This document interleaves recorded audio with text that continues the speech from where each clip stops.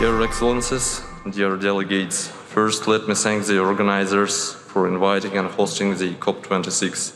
It is difficult to overestimate the significance of this conference when practically all countries of the world are subject to climate change and its negative consequences.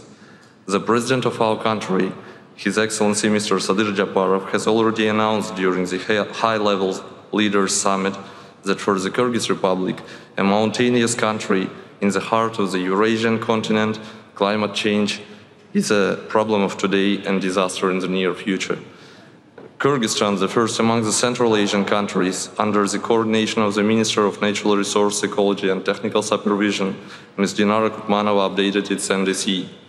According to the updated NDC, the overall mitigation goal of the Kyrgyz Republic as a contribution to achieving the goal of the Paris Agreement is defined as 45, 44% by 2030, subject to international support, and by 2050 we intend to achieve carbon neutrality. The total cost of adaptation and mitigation measures is estimated at 10 billion US dollars, of which 63% is a need for international support.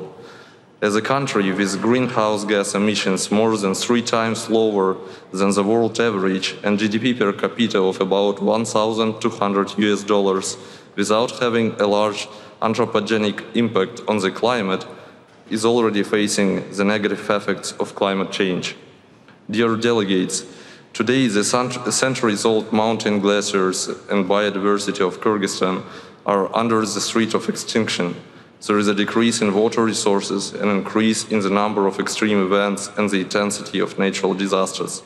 Over the past 20 years, the country as a whole has seen an increase in the number of avalanches, mud flows and floods by 60%.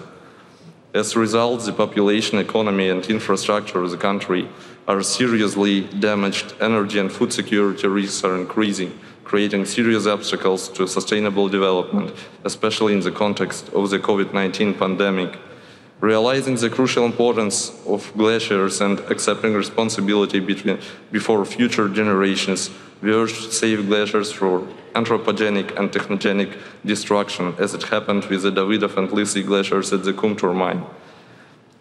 At the same time, our country has significant opportunities for expanding the use of renewable energy sources. For example, the country's hydropower potential is used by no more than 10% now.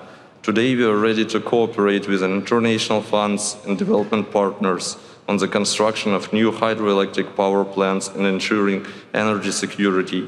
In this regard, Kyrgyzstan pays importance to the issues of adaptation and increasing resilience to climate change.